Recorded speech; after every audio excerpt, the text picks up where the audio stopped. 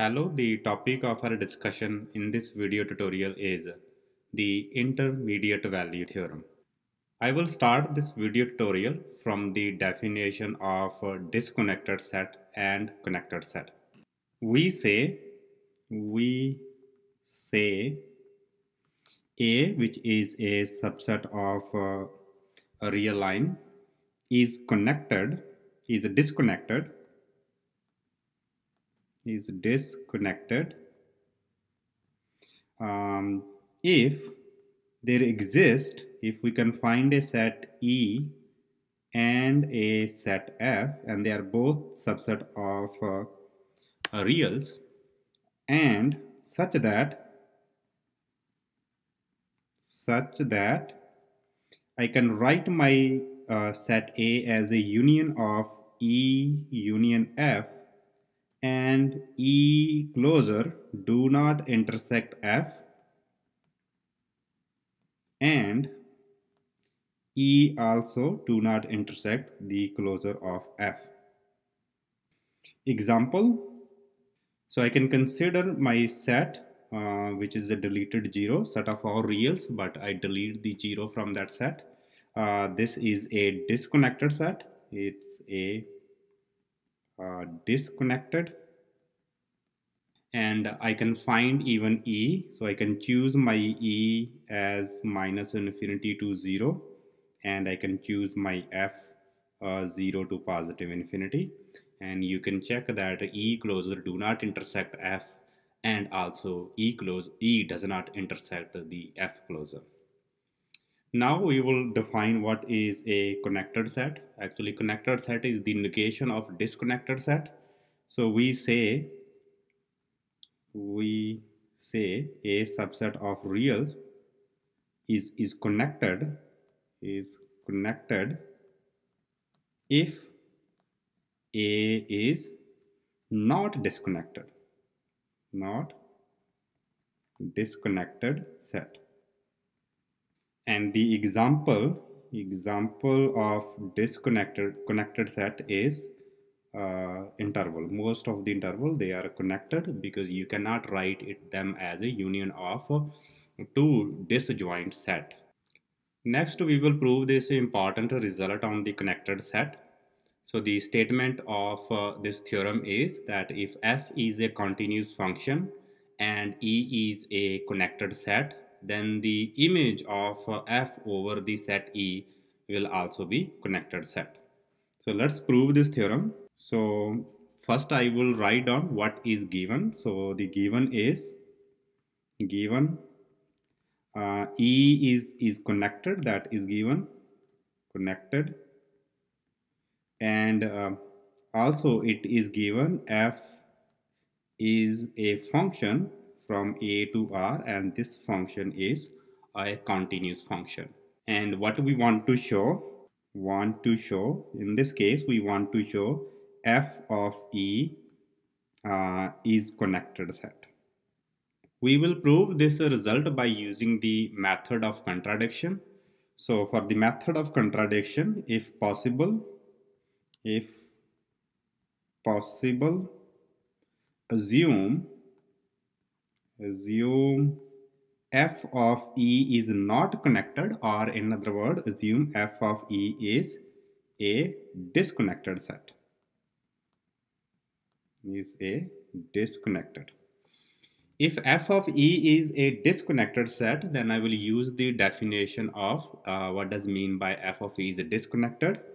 So this means I can write f of e as a union of two set. I will choose a and B uh, so that A closure do not intersect B and A also do not intersect B closure. This is the definition of disconnected set. Now I also define in two new set. So define, I'm going to define C. I'm going to take all those values from the set E which are mapped to A. And I'm going to define a set D. I'm going to map all the values of uh, E to B. I'm going to collect all the value from the set E which are mapped to B. Now by the definition of C and D and F is a function. Uh, so this will conclude that C will not intersect D. That will be a one conclusion. And another will be uh, E will be a union of C union D. This is from the definition of the set C and D and also the definition of the function f because function f is mapping from A to R. Now I will claim C closure intersect D is also empty and C intersect D closure is also empty. So this is my claim. I will only prove one of it. Uh, the proof of the other one will be similar. So I will prove that the intersection of C closure uh, uh, intersection with D is uh, non-empty. I will use again the method of contradiction. If possible, C intersect D uh, has a common point or is a non-empty. Uh, this, simply, this implies there exists x0 which is a belongs to C closure and x0 is also belongs to D. Now what does it mean by x0 belongs to C closure? It means x0 is a limit point of C.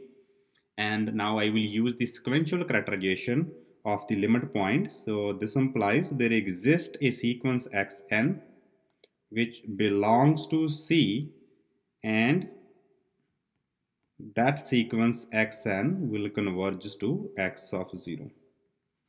So this is the sequential characterization of a limit point. Now since the xn sequence is converges to x of 0 and the function f of x is a continuous, so by using the sequential characterization of continuity, therefore f of uh, x of n will converges to f of x0. And also since xn belongs to C and by the definition of C, f of x1 must belongs to A. This is by the definition of C because if some element belongs to E uh, and this element is also in C, uh, then its image must be in A. So therefore, f of xn belongs to A. So now, since this sequence is belongs to A and this sequence is converges to f x of 0, so this implies f of x0 will be a limit point of the set A or in other word, f of x0 will belong to the closure of A. Also, notice, notice x0 also belongs to D. So we have given x0 belongs to D. And if you use the definition of D, it means f of x0 belongs to B. This is the definition of D uh, because if some element x which is also in D, it is image must be in B. So this implies x uh, f x0 belongs to A closure and the same element is also belongs to B. It means A closure intersection B must be non-empty because they have one element which is common. But this is a contradiction to the fact that we already assume A closure intersection B is empty. But here we prove that uh, this intersection is non-empty. Therefore, which is a contradiction, which is a contradiction. So if this is a contradiction, it means f of E is not disconnected or in other word, f of E is connected. So this complete the proof of our theorem. Next, we will prove the uh, main result of our video tutorial, which is the intermediate value theorem. So let's read the statement of this theorem. The statement of this theorem says that if f is a function uh, which is defined from a closed interval AB to the set of reals and it satisfies uh, either this condition or that condition so one of them uh, then there will exist a element uh, uh, C which will belong to the open interval AB so that uh, when we evaluate the function at this, it will be is equal to uh, the real number L. Proof. Let me first write down what is given and what we want to show. So the given is given uh, f is a function which is uh, from the closed interval ab to r. This function is continuous. This is given and the L is given but L satisfies one of them. So I'm gonna loss without of generality. I'm gonna assume that L satisfy uh, this condition. Or in other word this is also implies L belongs to uh, this open interval f of A f of B. Now I will also write down uh, what we want to show in this case actually we want to find a number c. So we want to find c which is belong to the interval ab uh, so that so that f of c is equal to l. So we need to locate that c which belong to the interval ab so let's start the proof now. First i'm gonna start from what is given so I have the interval closed interval AB. So this interval is definitely connected. And this interval is compact because this is a closed and bounded. So it is a compact. Using the previous theorem and one of the theorem from our previous video uh, this will implies f of a b because f is a continuous function this function this means the range of this function is connected and compact. We also prove the compactness in our previous video. So a set is connected and a set is compact. It means it must be an interval. Therefore a b is is equal to interval or I can say some c and d and since f of a is less than, strictly less than f of b so this implies this interval f of a f of b definitely this interval is uh, contained in this interval cd by the definition of the range of the set. Uh, and also since l is belong to this interval f of a f of b and f of uh, this interval is contained in uh, the interval cd but cd interval is uh, exactly is equal to f a b. So this implies l belongs to the range of ab f over ab and what this implies. Now I will use the definition of the function. If L is belong to the range of the function it implies there exists element C belong which will belong to the domain of the function uh, so that f of C is equal to L now we need to show that C cannot be is equal to A and B or in other words C cannot lies on the boundary of this interval.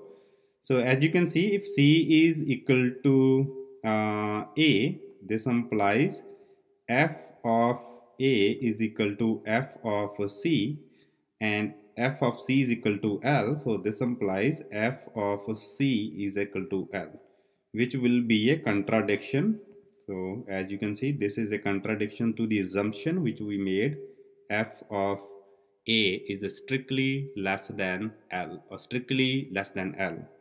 So therefore, this is not possible and this implies C cannot be is equal to A. Similarly, I can show that C cannot be is equal to B because if c is equal to b similarly f of uh, b is equal to f of c this is equal to l and that will implies f of b is equal to l sorry here is f of a is equal to l uh, but this will give you the contradiction to the fact here that we assume f of uh, b is strictly greater than L. So this is a contradiction. So C cannot be equal to B. So now putting all these together, it means C will only belong to the open interval A, B. C cannot occur on the boundary uh, so that f of C is equal to the number L. And this complete the proof of our intermediate value theorem. Next, I have one quiz problem for you to practice. Please pause the video for one and two minutes and work on this problem. This is also the end of this video. Thank you very much for watching. I will see you in the next video. Bye for now.